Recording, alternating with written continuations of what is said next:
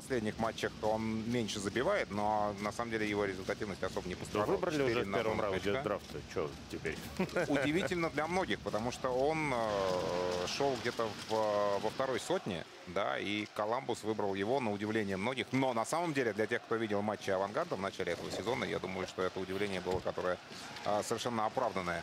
э, Потому что своей игрой заставил просто говорить о себе э, Чинах в этом сезоне. А сейчас еще одно удаление э, в составе Авангарда.